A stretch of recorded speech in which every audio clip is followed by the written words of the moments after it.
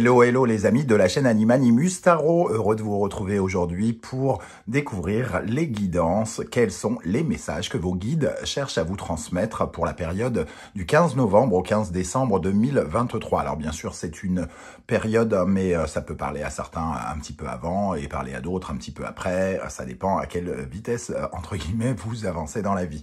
Euh, N'oubliez pas que c'est un tirage général qui ne peut pas parler à tous, hein, donc vous prenez uniquement les messages qui vous intéressent, qui vibrent avec ce que vous vivez, et n'hésitez pas à adapter mon vocabulaire à votre situation. Dans la barre d'infos, vous trouverez mon adresse email si vous désirez des renseignements pour les tirages personnalisés. Vous trouverez également différents liens qui vous mèneront vers les guidances que j'ai effectuées pour votre signe récemment, comme par exemple quelle est la bonne surprise qui vous attend en décembre, mais également la guidance générale du mois de décembre qui euh, détaille un petit peu plus tous les domaines de votre vie. On se retrouve dans un instant avec votre signe. Je vous souhaite une bonne écoute. Hello, hello les amis vierges, ascendant vierge, signe lunaire en vierge, bienvenue pour cette guidance. Aujourd'hui, nous regardons quels sont les messages que vos guides cherchent à vous adresser par l'intermédiaire de ce tirage pour la période du 15 novembre au 15 décembre 2023. C'est une période, bien entendu, exhaustive. Ça peut parler à certains d'entre vous dès à présent et parler à d'autres beaucoup plus tard. Donc, n'hésitez pas à revenir sur ce tirage si toutefois il ne vous parlait pas dès à présent. C'est un tirage général, je tiens à le rappeler. Ne prenez que les messages qui vibrent avec ce que vous vivez et n'hésitez pas à aller voir la vidéo de votre signe ascendant et lunaire si jamais celle-ci ne vous parlait pas. On y va avec l'énergie principale de ce message de vos guides avec l'oracle du soleil levant. N'oubliez pas de liker, de partager et de vous abonner à la chaîne. Ici, nous avons l'énergie des chiens lions, les Komenu, euh, au Japon et, euh, et, dans la religion euh, shinto et, bouddhiste, on retrouve ces, ces chiens lions ici, le, le mâle à, droite et la femelle à gauche, le mâle qui maintient sous sa patte le globe, euh, c'est-à-dire le monde, et la femme qui retient sous sa patte le, le bébé. Hein. Ah, donc euh, ici, le pouvoir, euh, les deux pouvoirs que l'on possède, et tous les pouvoirs, la combinaison des forces yin et yang, entre guillemets, hein, qui nous protègent. On sent une bulle de protection ici. Le message de, de, des, des c'est justement d'apporter de la protection. Mais si on, vient vous parler de ça, c'est peut-être qu'il y a un peu trop de protection. Euh, on a tendance à ne rien laisser rentrer dans sa bulle intérieure et on a tendance à ne rien laisser sortir aussi. Hein. Quand on est dans la surprotection, euh, quand on est, euh, euh, quand on protège ses acquis, mais que, mais que finalement on n'arrive pas à les faire entre guillemets ressortir de cette bulle de protection, il est possible que les guides vous disent ici que ce surprotectionnisme entre guillemets peut entre guillemets vous jouer des tours. Vous êtes peut-être euh, vraiment dans une phase où euh, il y a peut-être des changements à apporter et vous êtes indirectement récalcitrant à l'idée que de nouvelles choses puissent venir vers vous. Soit vous êtes particulièrement méfiant, euh, ou alors il peut y avoir des peurs hein, ici d'être attaqué, d'avoir affaire à des personnages comme comme ce samouraï avec son épée. ici, on sent que il y a quelque chose qui fait que vous êtes sur une certaine forme de réserve et que euh, au lieu de d'affronter peut-être euh, des événements nouveaux qui ne seront pas forcément négatifs, mais peut-être que vous avez tendance à croire que ça pourrait être négatif, que le changement est forcément négatif. Euh, ici, vous pouvez aussi accepter ce qui est sans pour autant bloquer entre guillemets, les énergies. Euh, oui, vous avez peut-être peur de la jalousie, des malédictions, de la méchanceté, des esprits malins, des personnes qui euh, s'engouffrent dans la, dans, la, dans la faille, entre guillemets. Hein. Ici, on, on voit qu'on veut vous parlez du fait, du fait de faire barrage, barrage à quelque chose. Alors c'est vous qui voyez euh, à quoi vous faites barrage, un nouvel amour, un nouveau métier, euh, un, déménagement ou quelque chose comme ça. Euh, vous êtes un peu peut-être sur la défensive ou, ou en mode attaque, hein, au contraire. En tout cas, quoi qu'il qu'il en soit, vous protégez quelque chose de façon peut-être un peu euh, ferme, un peu euh, extrême, si on, si on voit cette carte sortir ici. On va essayer d'en savoir plus pour savoir comment vous vous situez par rapport à ces chiens lions. Mais pour moi, ça nous parle de protection. Alors oui, vous êtes peut-être protégé euh, par vos guides, ça peut éventuellement nous parler de ça, mais j'ai l'impression qu'en énergie principale, quand même, on essaye de souligner quelque chose. Avec le tarot de Marseille, nous avons l'énergie de tempérance ici et de l'ermite. Alors, tempérance nous parle de renouveau, nous parle du retour de quelque chose pour du renouveau parfois, euh, une deuxième chance, euh, une, en tout cas, euh, le retour d'une situation, le retour d'une personne, euh, le retour d'une offre qu'on a refusée ou, euh, qui ne nous a pas été, je ne sais pas, accordée, quelque chose qui revient et qui invite à une grande réflexion ici, l'ermite. Hein. L'ermite avec sa lanterne qui essaye de comprendre comment on est dans le compromis, comment on est dans la patience, comment on est dans la guérison aussi. Euh, comment on va vers le renouveau? L'ermite, il fait une certaine forme de bilan. Hein. Il regarde ce qui n'a pas fonctionné, ce qui a fonctionné dans euh, peut-être votre communication, dans euh, votre sens du partage, comment vous avez euh, partagé, comment vous avez donné et ce que vous avez reçu, par exemple. Il y a vraiment deux énergies ici avec tempérance, l'eau et le vin, comment mélanger deux choses, euh, deux personnes, deux façons de parler, pour qu'ils puissent s'accorder ensemble et apporter de la sérénité et du calme. Il faut euh, quand même noter que tempérance nous parle de guérison et que l'ermite parle de remède, hein. donc de trouver des solutions. L'ermite évolue euh, un peu dans sa grotte, un peu comme ici. Euh, peut-être que vous êtes dans ce temple sacré ou dans ce sanctuaire sacré, bien protégé, avec une certaine forme de, de difficulté à voir à être dans le compromis. Je ne veux pas changer parce que, euh, parce que ça ne me correspond pas, parce que j'ai peur, parce que mon degré d'exigence fait que euh, l'offre que l'on me propose est peut-être trop dangereuse euh, par rapport à ce que je possède déjà. Donc ici, il y a quand même une volonté de, de regarder tempérance et d'essayer peut-être d'analyser votre sérénité face au renouveau. Euh, oui, on sent en plus euh, ici de la nouveauté avec la roue de fortune. Il faut accepter son sort, accepter aussi bien les belles choses que les mauvaises, hein, euh, entre guillemets. C'est plus ou moins ce que je vous disais ici. en étant surblindé, surprotégé, finalement, on s'empêche de vivre véritablement, véritablement de nouvelles expériences, des expériences qui nous enrichissent, qui nous font grandir. Ici, c'est peut-être, euh, euh, entre guillemets, l'heure du bilan euh, pour passer à un cap supérieur, parce que 14 plus 9, ça fait 23. Donc, nous avons l'énergie du pape. le pape, c'est celui qui nous fait grandir, celui qui, crée de l'expansion aussi, hein, et qui nous met sur le droit chemin, sur le chemin sur lequel on doit être sur la bonne voie. C'est celui aussi qui corrige nos erreurs ou qui répare les erreurs qui ont été commises. Pas forcément les vôtres. Ça peut être euh, euh, le fait que euh, vous n'êtes pas totalement sur la voie sur laquelle vous devez être pour une raison X ou Y. Vous n'êtes pas dans la maison dans laquelle vous devez être pour une raison X ou Y. Vous n'êtes pas avec la personne... vous ne collaborez pas avec la personne avec qui vous devez collaborer pour X raisons. Et ici, il est question de penser à du renouveau.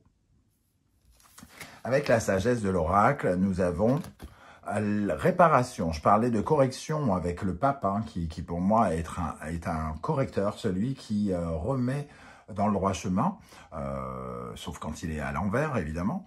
Mais ici, on sent qu'il y a quelque chose, il faut réparer quelque chose, ou vous êtes dans une situation où une erreur une erreur, j'allais dire, de la nature, une, erreur du divin, une erreur de, votre part, une erreur de quelqu'un doit être réparée. Mais cette réparation, elle implique probablement une certaine forme de changement qui vous effraie, qui, euh, euh, qui réveille en vous une certaine forme de euh, Oula, attention, t'approches pas trop près, tu me fais peur. Quelque chose comme ça. Alors, c'est peut-être pas de la peur hein, pour certains d'entre vous, mais peut-être que vous êtes extrêmement exigeant, vous avez, il y a une certaine forme de vous, vous, avez un sens du détail, euh, les amis vierges, qui est euh, connu et reconnu. Donc euh, peut-être qu'ici, vous êtes extrêmement pointilleux et peu enclin à, certaines, à certains sacrifices ou, ou certaines choses comme ça. Et ici, les questions de réparation. Quelles sont ici les énergies qui vous aident à vous épanouir, sur lesquelles vous pouvez donc vous appuyer? La vague. Alors, cette carte hein, de, la vague nous parle justement de, de l'émotion, puisqu'on parle d'une vague, hein, quelque chose qui nous emporte. Euh, c'est le contrôle de ces émotions, le fait de pouvoir surfer avec ces émotions qui peuvent vous aider. Euh, vous avez euh, sans doute appris des choses concrètement ressenti des choses très fortes par rapport aux événements qui vous arrivent. Et ici, on vous dit, d'ailleurs, le, proverbe que j'ai retenu pour, pour cette carte, c'est « Lorsque l'eau monte, le bateau fait de même ». Quand il y a quelque chose qui s'agite dans sa vie, on est censé suivre cette vague, surfer sur cette vague, accepter cette émotion au lieu de... Euh, au, lieu la prendre en pleine poire, euh, de boire la tasse et de glou-glou et glou-glou et euh, oh là, j'étouffe et, et je peux pas, et, je peux pas, et je peux pas, je souffre ou je ne sais quoi. Ici, ce que la capacité peut-être que vous avez sans même vous en rendre compte, c'est justement de surfer sur cette vague et d'accepter une certaine forme de gestion, on va dire, de vos émotions, quelque chose qui se, qui, qui comme si vous vous laissiez, vous pouvez vous laisser porter. Il y a quelque chose qui vous emporte, il y a une sorte de vague. Alors peut-être que c'est comme une offre, quelque chose qui arrive vers vous et qui vous propose de vous embarquer. Soit vous paniquez, soit euh, vous, euh, vous acceptez ce qui, ce, qui, ce qui vient, entre guillemets, hein. Quelque chose qui adoucit vos angoisses. Vous, vous avez la possibilité d'adoucir vos angoisses en, ne voyant pas systématiquement une problématique là où il n'y en a pas forcément. C'est ce que veut nous dire cette carte ici. Hein. Euh, cette, femme reste calme face à, la grande vague de, Kanagawa, de, de, Okusai. Elle a la tête sous la vague et elle accepte. elle accepte son sort, ce bateau avec une flamme ici qui pourrait tout à fait s'éteindre. Euh, on accepte ce qui se passe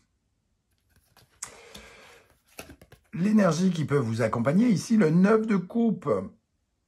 Il y a quelque chose avec euh, la vague et le 9 de coupe. C'est votre cœur qui vous emporte. C'est le cœur qui doit l'emporter ici. Il y a quelque chose du domaine du rêve au fond de vous. Il y a un truc qui vous porte. Il y a quelque chose qui vous, euh, qui vous donne des émotions un rêve, euh, un objectif, euh, un sentiment, quelque chose qui vous fait particulièrement du bien et qui vous aide à cet épanouissement, il est probable qu'on parle aussi de l'écoute de ses émotions, de l'écoute de son cœur avec le neuf de coupe qui a tendance à chercher le bonheur au, travers de ses prières, au travers de ses rêves. Hein. Alors, de l'autre côté, quelles sont les énergies qui, au contraire, vous euh, vous ralentissent ou euh, sur lesquels vous pourriez travailler pour vous sentir plus épanoui. Il y a deux cartes qui sont venues. Nous avons d'abord le cerisier. Le cerisier nous parle de la béatitude, nous parle de ce petit garçon ici, qui est sur un fil avec son nounours et qui ne fait qu'apprécier le moment présent. Il y a des cerisiers partout, c'est magnifique il a envie de regarder. Il n'est pas dans la panique, il perd une chaussure d'ailleurs ici. Il n'est pas euh, absolument, il est juste dans l'observation de ce qui se passe. Et il ne tire que euh, l'essence de ce qu'il observe, l'instant présent. On ne ressasse pas le passé, on ne se dit pas euh, je suis tombé mille fois dans le passé. Non, non, je ne monte pas sur cette corde, c'est trop dangereux. On ne va pas se projeter dans le futur. Non, non, je vais peut-être me casser la gueule. Euh, non, non. on ne va pas dans le futur. On ne regarde que ce beau décor éphémère, parce que les cerisiers sont, des fleurs, du moins des, arbres extrêmement éphémères. Hein, euh, lorsque vous décidez d'aller au Japon pour la période des, cerisiers, vous pouvez y aller dix fois et ne jamais voir les cerisiers. Sauf si vous voyagez à l'intérieur du Japon, soyons euh, clairs. C'est-à-dire que certains, pour voir les cerisiers, sont obligés de euh, partir d'une ville pour aller vers une autre, où peut-être ils auront une seconde chance de voir des cerisiers en fleurs. Parce que une tempête, un coup de vent, tout ça s'envole, c'est très très délicat. Euh, et, certains de mes amis sont allés euh, dix fois au Japon et n'ont vu que deux fois les cerisiers en fleurs. Moi, j'y suis allé une seule fois à la période du printemps et je suis tombé pile dedans. J'ai eu de la chance. Donc, ça nous parle de la béatitude, de l'instant présent. Vous devez nourrir cet instant présent. Arrêtez de ressasser, arrêtez de vous projeter et accepter euh, tout simplement la situation, les situations qui se présentent euh, telles qu'elles sont. Ici, il y a deux points de vue. Ce petit garçon, et alors il est difficile de le voir avec mon, zoom qui est extrêmement euh, négatif. Ici, sous mon doigt, on voit sa mère qui panique, qui lui fait des signes, descends, descends lequel est le mieux? Celui qui panique pour quelque chose qui n'est pas encore arrivé? Le, gamin n'est pas tombé. Ou euh, le fait de, prendre du plaisir juste en étant là, sans se projeter, sans... Euh, et c'est cette énergie qu'on vous invite à travailler, que vos guides vous invitent à travailler. La deuxième énergie qui est tombée, le fougou. Le fougou, ce poisson euh, mortel euh, qui a une poche euh, mortelle, qui nous parle de, du désir de vivre et de la peur de mourir, hein, quelque part, puisque c'est presque considéré comme un sport extrême de manger du fougou. C'est un mets extrêmement raffiné, mais qui demande un diplôme tout à fait particulier, puisque à la moindre erreur, vous êtes tous morts en mangeant son, sa chair, qui est euh, délicieuse, mais euh, il y a quand même une certaine forme. C'est un peu comme marcher au bord d'une falaise sans savoir si elle va pas se, euh, bousiller. Donc, on retrouve un petit peu cette projection de, de profiter de la vie, d'être juste, de se sentir en vie avec, avec cette énergie-là. Ça nous parle de vos blocages aussi, hein, de votre paralysie par rapport peut-être euh, à la libération, par rapport au changement. On voit euh, ici euh, sur l'illustration des poissons qui sont maintenus en chaîne et qui sont agonisants, étouffants, qui n'ont plus de couleur, qui sont au bord du gouffre et qui risquent de finir comme ces arêtes. et parallèlement, on voit ce poisson ici qui casse sa chaîne pour se libérer de sa paralysie, de ses blocages. On vous invite à vous comporter comme ce poisson ici, à étaler toute votre lumière, à faire preuve de confiance par rapport au changement plutôt que de bloquer les choses. Ayez, euh, plutôt que de, vous laisser vous étouffer, de vous laisser, entre guillemets, entre guillemets, hein, mourir à petit feu dans une situation qui ne vous convient pas, acceptez de prendre certes peut-être un peu plus de risques, mais pour vous sentir davantage en vie. C'est le message de cette carte. Et avec cela, avec le tarot des des passages, nous avons le roi de Pentacle. Le roi de Pentacle peut nous parler d'un aspect matérialiste, c'est-à-dire d'avoir des préoccupations extrêmement concrètes financières, mais peut-être à outrance, être obsédé par l'argent, avoir peur de, manquer d'argent, euh, vouloir vivre dans une sécurité financière euh, qui vous empêche de, finalement de vivre peut-être ce que vous avez à vivre parce que vous avez peur de perdre le salaire que vous avez euh, et que jamais vous vous dites, si ça se trouve, je gagnais plus dans le prochain travail. Non. Euh, vous, vous restez sur le fait que vous vous mettez en danger et que ça remet en question votre sécurité. Ici, euh, ça nous parle de, votre besoin de vous sentir en sécurité, du besoin d'ancrage aussi, hein, euh, que, vous pouvez ressentir les amis vierges. Et quand on a le pentacle, ça peut nous parler aussi euh, d'une obsession sur la confiance en soi. Est-ce que vous en avez assez ou alors au contraire euh, une paralysie en vous disant j'y arriverai pas, j'y arriverai pas. quelque chose comme ça peut vous bloquer ici. On vous invite à travailler cette notion. Quels sont les... Euh, alors, avant les conseils, euh, quelle énergie ou quel mot euh, l'univers cherche à vous mettre en tête avec l'oracle Anaya de Santra Dania Renoncer. Lâcher ce qui ne vous convient pas permet au meilleur de s'avancer. À force de faire barrage, à force d'arrêter toutes les énergies qui peuvent finalement apporter du meilleur, vous limiter l'arrivée des choses. Ici, vraiment, c'est comme ça que je l'ai ressenti dès le départ. C'est, euh, certes, vous vous protégez euh, des, forces extérieures, mais vous ne, vous ne laissez pas non plus rentrer les forces positives de l'extérieur. Et ici, on vous invite à lâcher prise, hein, avec une certaine forme de, de, maturité, pour être un peu plus dans une certaine forme de sérénité et de, de modération. Peut-être que c'est un peu excessif et qu'il vous faut revoir un peu le dosage, entre guillemets. Renoncer, choisir, c'est renoncer, donc il faut aussi peut-être choisir le meilleur plutôt que de choisir le sûr. C'est ce que semble dire ce tirage. Avec le tarot symbolon, quels sont les conseils que l'univers cherche à vous transmettre? Ici, on a le Gémeaux, Mercure, Capricorne, Saturne. Alors, on a une dynamique euh, handicapée ici. Hein. Euh, on voit ce mec qui avance tout doucement. C'est peut-être pour vous dire, euh, rendez-vous compte que vous avancez peut-être doucement sur une route sur laquelle vous pourriez aller beaucoup plus vite et beaucoup plus loin. il y a cette dynamique un peu de blocage avec Saturne qui remet en question certaines choses.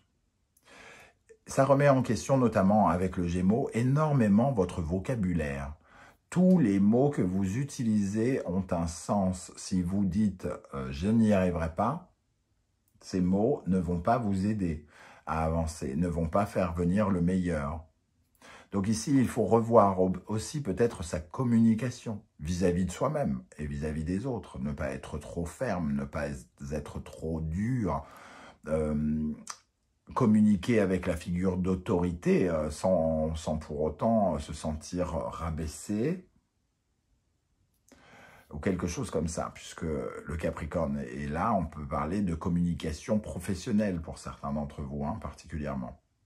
On se sent en tout cas peut-être dans une situation d'handicapé dans la vie, euh, dans son statut social, dans son évolution de carrière, par exemple.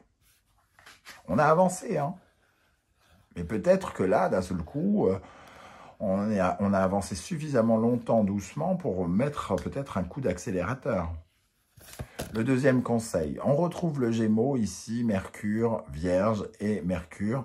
Donc ici, euh, euh, votre le, sens de la Vierge, hein, c'est le sens guérisseur aussi, hein, c'est la santé.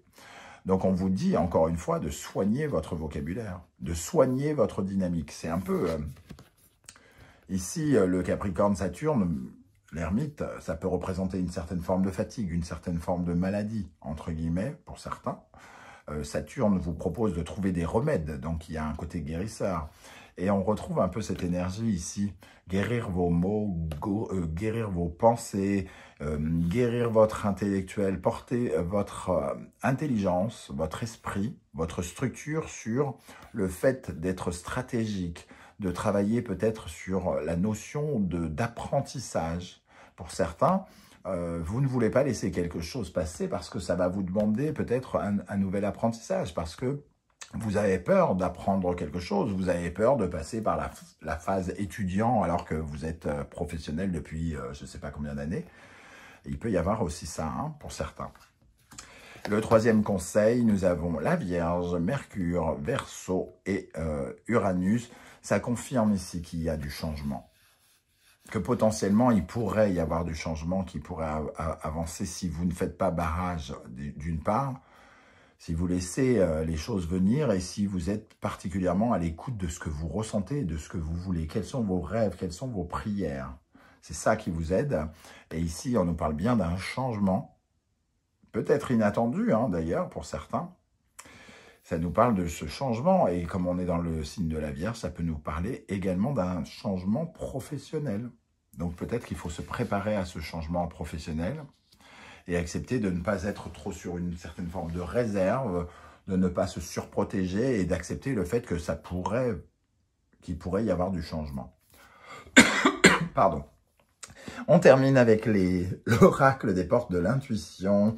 Alors, euh, quel message pour les vierges pour la période du 15 novembre au 15 euh, décembre J'allais dire août. Je ne sais pas où j'étais, j'étais parti loin. La manipulation, maîtrisez vos pensées négatives et ne vous laissez plus manipuler par elles. Les pensées négatives, le ressasser le passé, vous visualisez dans le futur. Je pense que c'est là où euh, il y a la problématique et là où on vous invite à justement avoir une certaine forme de détachement. Euh, couper euh, ces, fils hein, de marionnette, c'est lâcher prise, c'est accepter que plus rien ne vous tient en laisse, et que euh, vous êtes euh, dans le vent et que vous acceptez que le vent vous emmène comme cette vague. La maîtrise, pour passer dans la maîtrise, il vous faut accepter le chaos qui prouve, il prouve que votre vie change. Le changement, le changement radical, le chaos, hein, ça peut passer par une période de, déstructuration. On ne peut pas toujours avoir quelque chose qui se construit, on ne peut pas toujours avoir des rêves qui se construisent sans avoir à casser autre chose. Et le troisième, euh, troisième énergie, pardon, l'action, soyez prêts à agir concrètement et les difficultés auront tendance à s'évanouir. C'est la présence du, ça me fait penser à la présence du pape, hein, ici, 14 et 9, le pape, le pape, c'est la terre, c'est l'ancrage, la concrétisation, c'est de passer à l'acte, d'avoir l'acte qu'il faut, de, mener la, bataille que l'on doit mener concrètement. Voilà les amis euh, vierges, comment je ressens ce tirage? Alors je ne sais pas du tout si ça va vous parler, euh, si cet oracle que j'ai créé euh, va vous parler. N'hésitez pas, j'espère que vous serez très nombreux à commenter juste en dessous de la vidéo pour me dire euh, ça m'a parlé de ça, j'ai ressenti ceci, j'ai ressenti cela. J'aurai plaisir à vous lire. Si vous ne voulez pas étaler votre vie, vous le savez, vous mettez un petit émoticône ou un petit coucou et je saurai que vous êtes passé par là et je pourrai vous saluer.